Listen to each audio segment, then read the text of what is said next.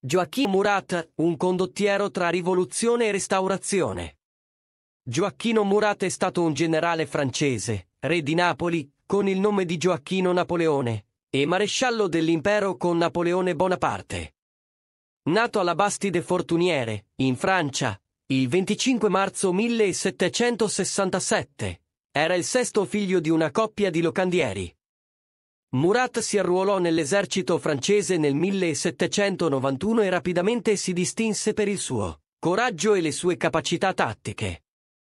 Partecipò a tutte le campagne di guerra della Grande Armée, scalando le gerarchie militari e conquistandosi la fiducia di Napoleone. Nel 1806 fu nominato Granduca di Berg e di Clèves e nel 1808 sposò Carolina Bonaparte, sorella minore dell'imperatore. Nel 1809 Murat fu nominato maresciallo dell'impero e nello stesso anno fu inviato a Napoli, dove fu proclamato re. Murat governò Napoli con un'impronta liberale e progressista, introducendo importanti riforme sociali ed economiche. Favorì lo sviluppo dell'istruzione pubblica, l'abolizione della fedalità e la promozione della cultura italiana. Nel 1812 Murat partecipò alla campagna di Russia, dove si distinse per il suo coraggio e la sua determinazione.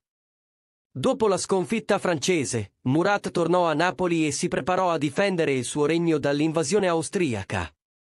Nel 1815, dopo la caduta di Napoleone, Murat tentò di restaurare il regno di Napoli, ma fu sconfitto dagli austriaci e fucilato a Pizzo Calabro il 13 ottobre 1815. La figura di Murat è controversa. Da un lato, è considerato un abile condottiero e un sovrano illuminato. Dall'altro, è stato accusato di essere un opportunista e un traditore, che si schierò con Napoleone solo per ambizione personale. Tuttavia, Murat rimane una figura importante nella storia italiana.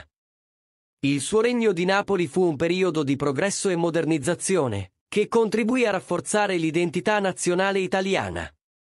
Ecco alcuni dei principali eventi della vita di Gioacchino Murat, 1767. Nasce alla Bastide Fortuniere, in Francia, il 25 marzo.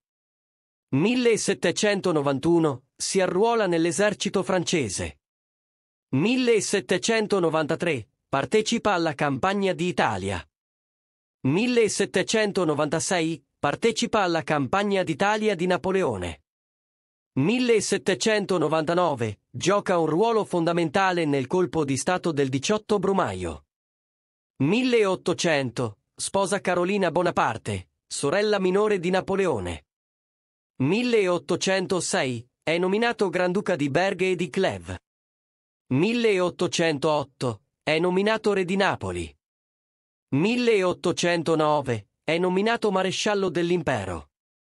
1812 partecipa alla campagna di Russia. 1815 tenta di restaurare il regno di Napoli, ma è sconfitto dagli austriaci e fucilato a Pizzo Calabro. Murat è stato un personaggio complesso e contraddittorio, ma è innegabile che abbia avuto un ruolo importante nella storia europea.